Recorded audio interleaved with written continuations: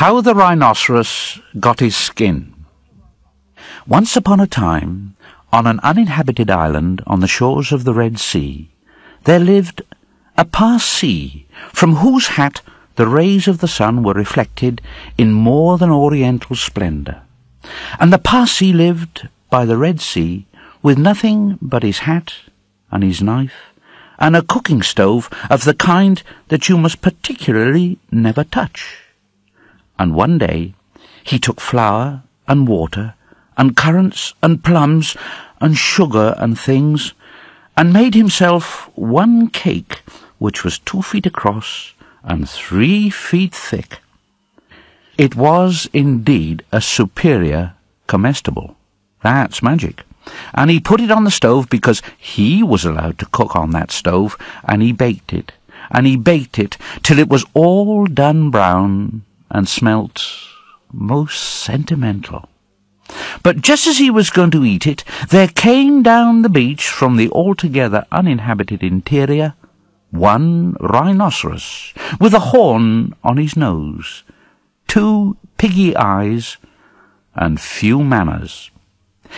In those days, the rhinoceros's skin fitted him quite tight. There were no wrinkles in it anywhere.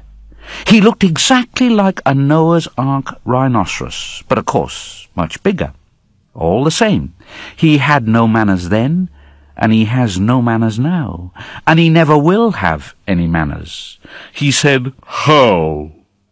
And the Parsee left that cake and climbed to the top of a palm tree with nothing on but his hat, from which the rays of the sun were always reflected in more than oriental splendour and the rhinoceros upset the oil stove with his nose, and the cake rolled on the sand, and he spiked that cake on the horn of his nose, and he ate it, and he went away, waving his tail to the desolate and exclusively uninhabited interior, which abuts on the islands of Mazandaran, Socotra, and the promontories of the larger equinox.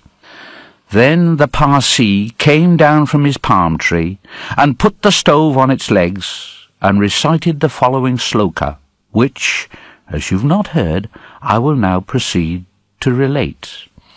Them that takes cakes, which the Parsee man bakes, makes dreadful mistakes. And there was a great deal more in that than you would think. Because five weeks later there was a heat wave in the Red Sea, and everybody took off all the clothes they had. The Parsee took off his hat, but the rhinoceros took off his skin and carried it over his shoulder as he came down to the beach to bathe. In those days it buttoned underneath with three buttons, and looked like a waterproof. He said nothing whatever about the Parsee's cake, because he had eaten it all and he never had any manners then, since, or henceforward.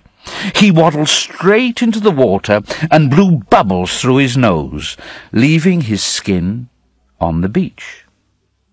Presently, the Parsee came by and found the skin, and he smiled one smile that ran all round his face two times. Then he danced three times round the skin and rubbed his hands. Then he went to his camp and filled his hat with cake crumbs, for the Parsee never ate anything but cake, and never swept out his camp.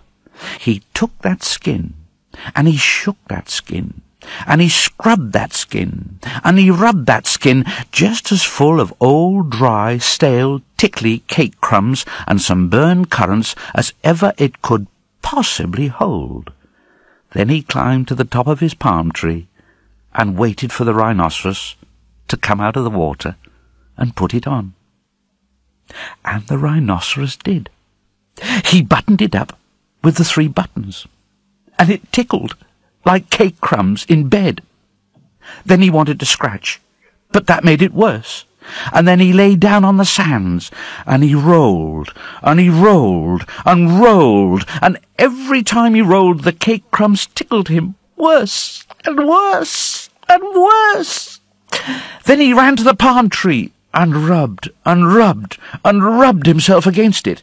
He rubbed so much and so hard that he rubbed his skin into a great fold over his shoulders and another fold underneath where the buttons used to be. He rubbed the buttons off, and he rubbed some more folds over his legs, and it spoiled his temper, but it didn't make the least difference to the cake crumbs. They were inside his skin, and they tickled.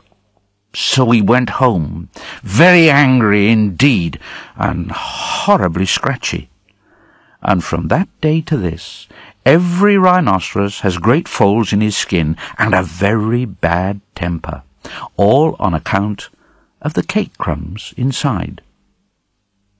But the Parsee came down from his palm tree, wearing his hat, from which the rays of the sun were reflected in more than oriental splendour, packed up his cooking stove, and went away in the direction of Orotavo, Amygdala, and the upland meadows of Antananarivo, and the marshes of Sonaput.